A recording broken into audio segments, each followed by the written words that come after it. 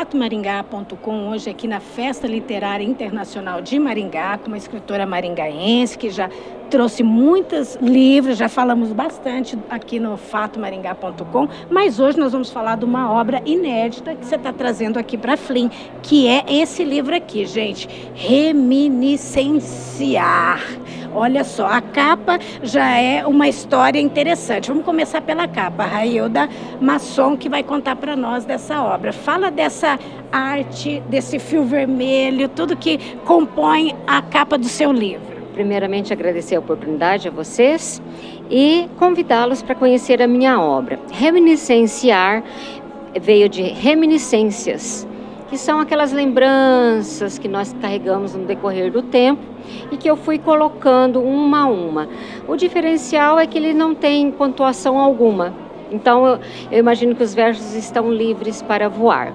Quanto à capa que você mencionou, ele traz o fio vermelho do destino.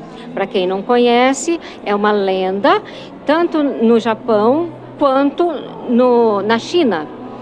E funciona assim a lenda.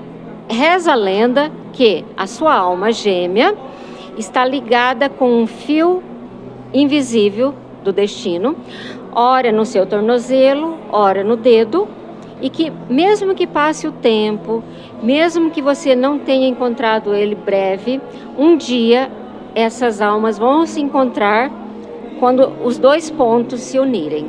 Certo. E esse livro tem também o tributo a Virginia Woolf, né? Fala para nós por que que você escolheu essa escritora. Eu costumo dizer que são elas que me escolhem. Porque eu estudo várias mulheres, uma de cada país, para me homenagear. Então, como você acompanhou, Cartas de Evita que Perón não leu, da Argentina, Anita Garibaldi, anita.g.com, Flor Bela Não Eu, que é homenagem, um tributo a Flor Bela Espanca, de Portugal, e este último, então, a homenageada está sendo a Virginia Woolf. Porque quando, eh, na, na medida que eu pesquiso, não só a biografia, como a bibliografia, quando é um escritor, tem que me encantar. E aí eu me identifico com, aquel, com aquela mulher.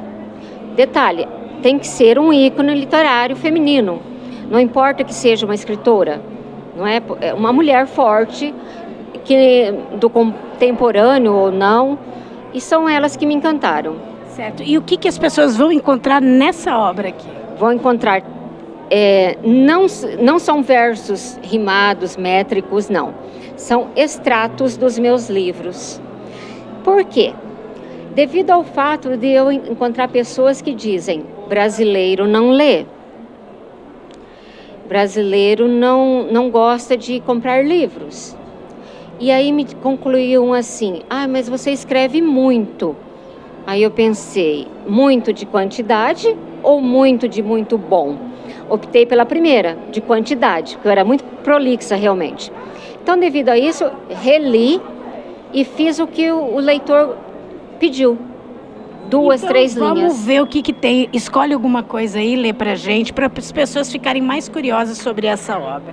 Enquanto a chuva lava as ruas tortuosas, eu me pergunto: onde foi que nos perdemos? Depois de meio século de procura insana. E na hora do escambo, fui enganada. Dei um coração novo e recebi um hipotecado. Que venha logo tão almejado momento do amor próprio sobrepujar aquele tóxico. A dor a Deus foi tão grande que, além de congelar o corpo, também mumificou a alma. Parabéns, Railda. Para quem quiser conhecer, pode participar do lançamento amanhã aqui na FLI. Faça o seu convite para as pessoas. Isso, convida todos os leitores, amigos, alunos, não é? Público em geral, para estarem conosco na FLIM, no estande Cheiro de Cultura. E estaremos aqui a partir de hoje até domingo, esperando por vocês. Vamos lembrar o horário desse lançamento e esperar mesmo que as pessoas venham te prestigiar, né? A partir das 19h30 até as 21 horas. Tá certo. Parabéns mais uma vez, sucesso nessa caminhada com essa nova obra. Então a gente encerra aqui com Raída Manson, Ligiane Ciola e José Carlos Leonel para o fatomaringá.com.